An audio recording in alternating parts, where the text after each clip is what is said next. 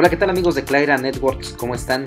Sean bienvenidos al video número uno de esta colección de videotutoriales donde estaremos trabajando el curso de servidores locales virtuales en varias plataformas y Moodle. En este video número uno vamos a instalar VirtualBox en su versión 5.1.12 en nuestra computadora con el sistema operativo de Mac OS Sierra.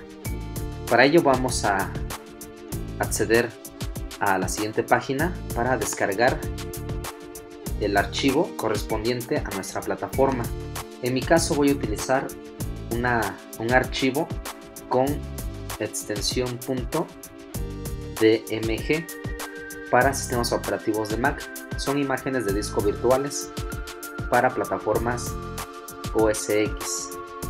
Acá tenemos el enlace para descargar Windows. En la barra de estado vean ustedes nos aparece un archivo con extensión .exe X para sistemas operativos de Mac, una extensión .dmg en la barra de estado y tenemos por acá para Linux y también para Solaris. Bueno, una vez que hayamos descargado nuestro archivo, voy a montar esta imagen en mi computadora para poderla empezar a utilizar. Acá este, quiero comentarles que VirtualBox ya existe en mi computadora. Acá está funcionando el programita. Solamente que en una versión anterior. Entonces, en Mac lo que hacemos simplemente es renombrar o en su caso eliminar la aplicación de esta manera, clic derecho, mover al basurero y con eso nosotros podemos desinstalar programas o aplicaciones y para instalarlas pues simplemente damos doble clic sobre el archivo .dmg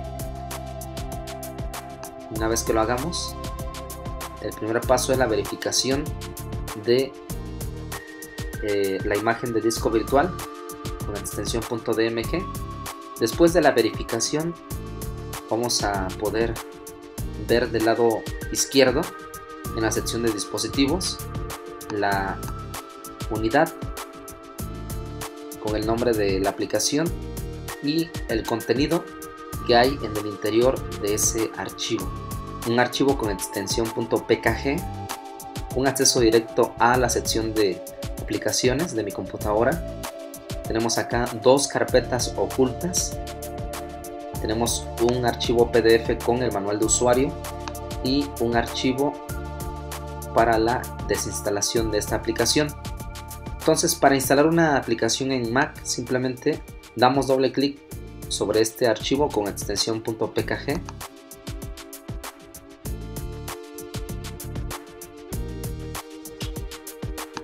seguramente el proceso que vamos a ver es el mismo que tú te vas a encontrar si es que instalas esta aplicación en tu sistema operativo de Windows. Nos aparece primero una, una ventana con alguna información. Vamos a darle continuar. Tenemos una, dos, tres, cuatro, cinco secciones. La de introducción es esta donde nos da la bienvenida a la instalación de esta aplicación. Vamos a darle ahora clic al botón de instalar. Nos va a pedir nuestra contraseña, la contraseña de nuestra computadora.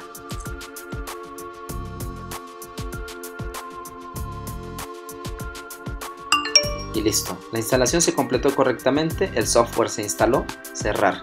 Me voy a aplicaciones y acá voy a poder observar esta aplicación llamada VirtualBox, que es la que yo acabo de instalar hoy a las 15 horas con 27 minutos. La versión 5.1.12, que es la versión más reciente. Vamos a abrir esta aplicación para conocerla rápidamente. Esta es la nueva versión de la aplicación VirtualBox que nos va a permitir a nosotros trabajar con máquinas virtuales en varias plataformas. Vean ustedes las plataformas que podemos utilizar. Linux, Solaris, sistemas eh, BSD, OS2, OS X, otro y también sistemas operativos Windows.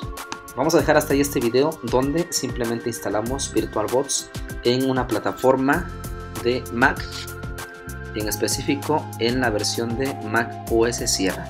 Nos vemos en el siguiente video, no te lo pierdas. En el siguiente video vamos a instalar el sistema operativo de Windows 8.1 en una máquina virtual con VirtualBots. No te lo pierdas, nos vemos. Hasta luego.